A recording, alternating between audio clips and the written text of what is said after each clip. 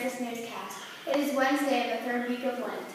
Lunch today will be pulled pork sandwich, carrots with dip, fruit, and choice enough. Tomorrow will be soft taco, cheese, lettuce, refried beans, tomatoes, salsa, fruit, and choice milk.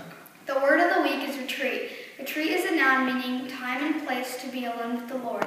All grades will get a chance to go on a retreat to find joy in their time with Jesus.